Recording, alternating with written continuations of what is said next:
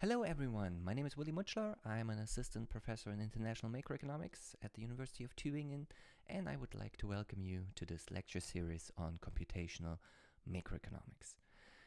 This is a graduate course aimed at our master students, but it will also be quite suitable for early PhD students who want to get familiar with state-of-the-art numerical methods that are commonly used in modern macroeconomics.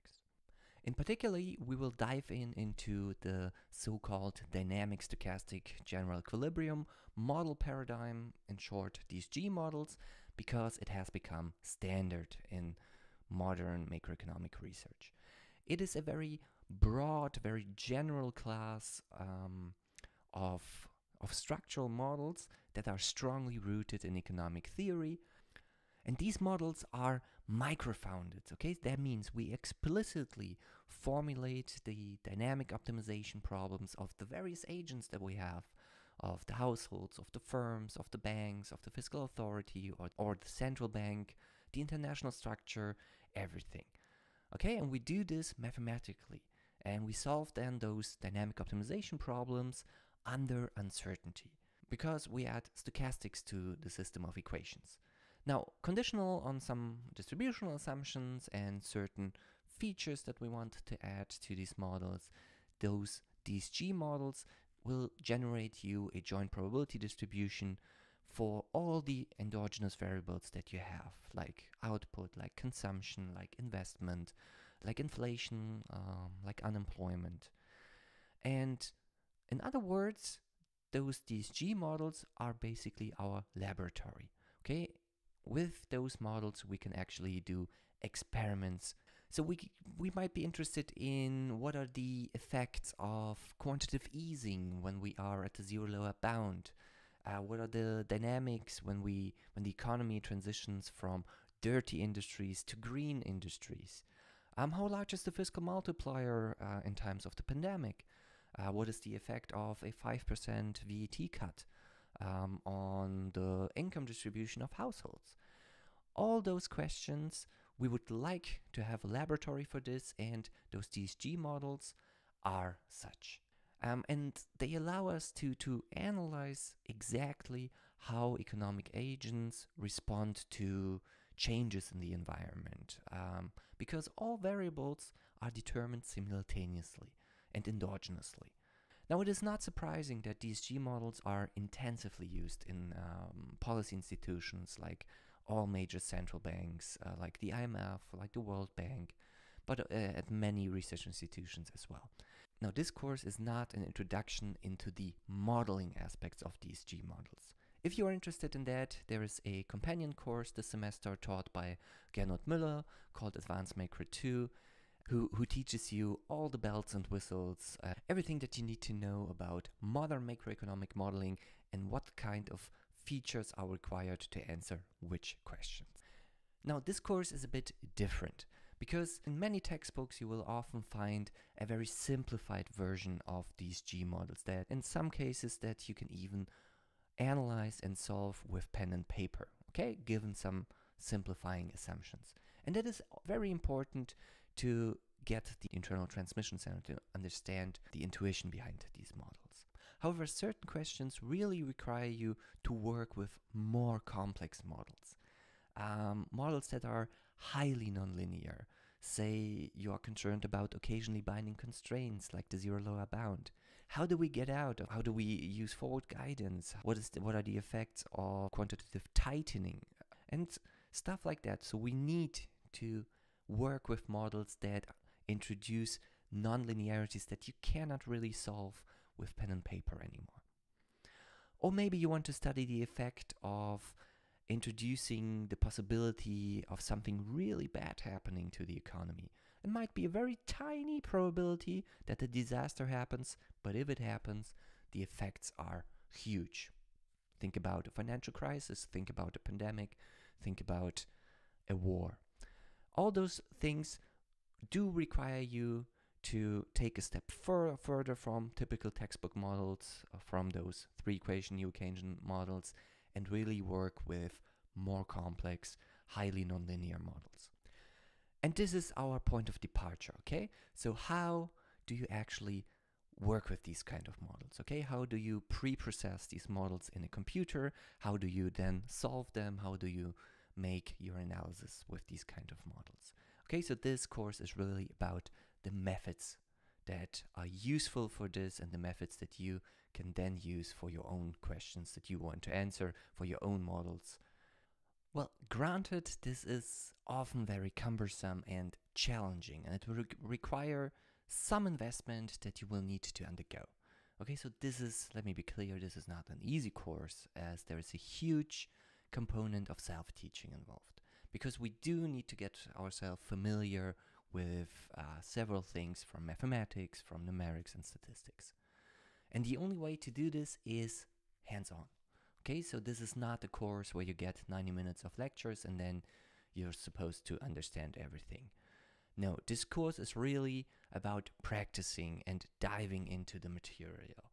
Okay, at some point it's going to be a bit slow because we really need to do to understand certain algorithms, certain concepts by practicing them, by implementing them ourselves. Of course, there will be several theoretical inputs and presentations of uh, methods and uh, how to solve certain problems. But the real focus of this course is for you to practice this directly on your computer in your time um, by means of several exercises. Only by try and error you you really you will really understand the foundations of computational macroeconomics. So this is really a hands-on course. Now, when we look at a certain concept, we will actually do two things. First, we are going to look at it at a very, let's say, a very user-friendly way. And for this, we will use Dynare. Dynare is a, in my opinion, very user-friendly um, toolkit for all sorts uh, of analysis that you can do with DSGE models.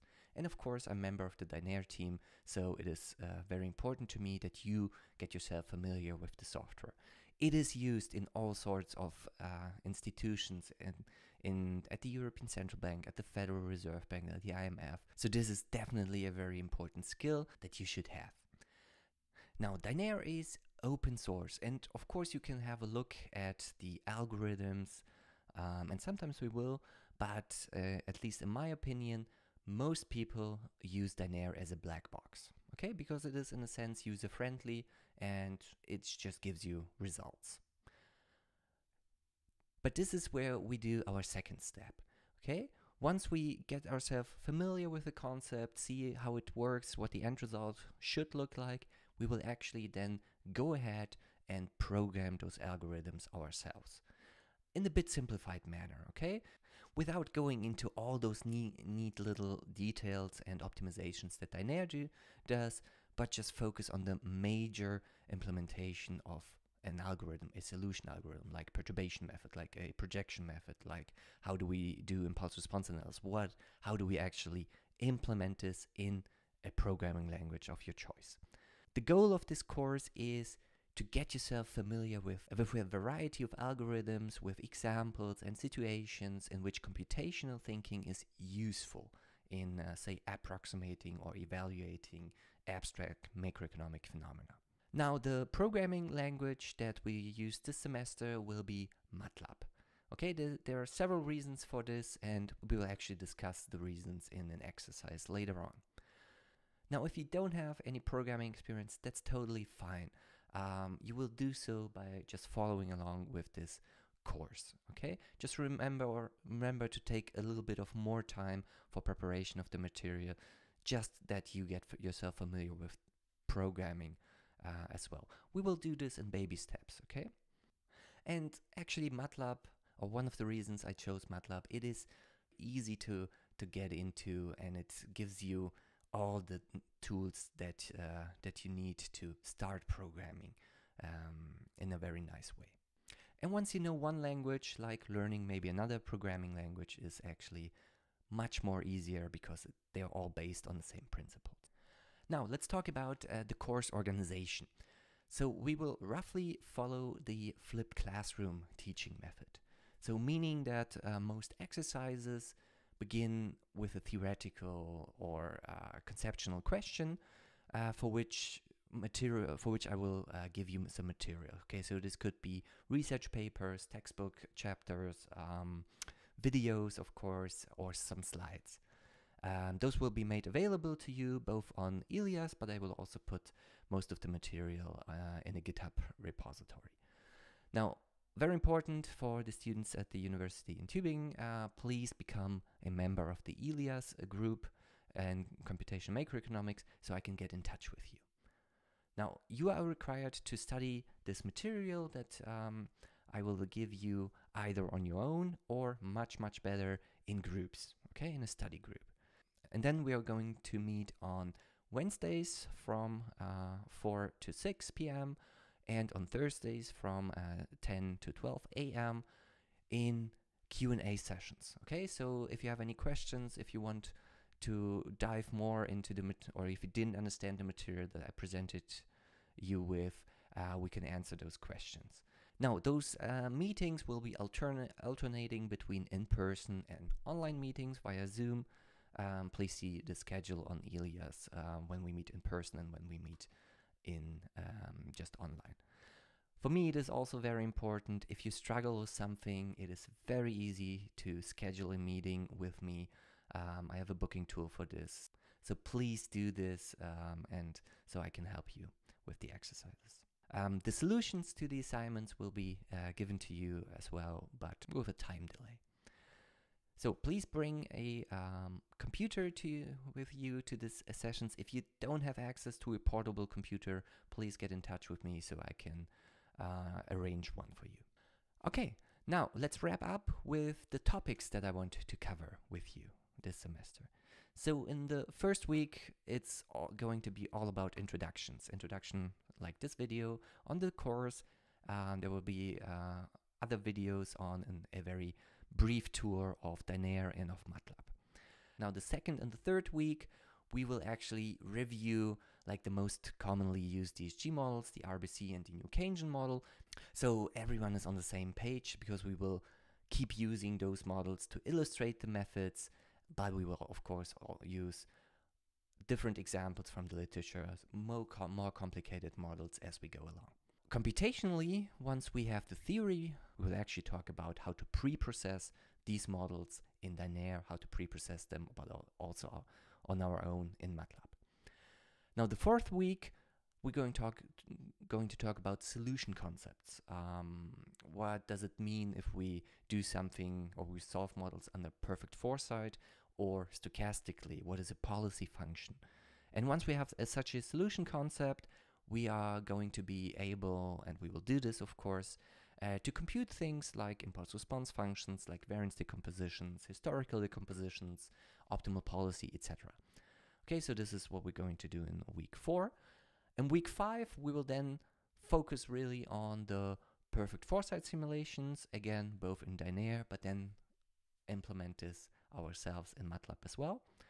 And week six and seven will be um, dedicated to stochastic simulations, and particularly the first order perturbation technique or the another the solution to so-called rational expectation models. Okay, we are we are going to see how this is implemented in Dynare, and we're actually also going to implement this by ourselves, so we really understand what is going on, what is a perturbation technique. Now, in the eighth week, this week will be actually your midterm exam week. Okay, so this course, in this course, you're required to do two exams, one midterm and one at the end of the semester. In the ninth and tenth week, we're actually um, taking the perturbation approach and we're going to look at higher order perturbation techniques. Now, perturbation is a local method. So in week 11, we're actually going to get ourselves familiar and get our hands dirty with the so-called projection method, which is a global solution method. And the remaining of the semester will be much about applications, about uh, models with, say, occasionally binding constraints, like the zero lower bound with models with rare disaster risk, and several other examples um, of the literature. And the last week of the semester will be then your end term. To get credits for this course, there will be a midterm and an end term exam, both counting equally towards your overall grade.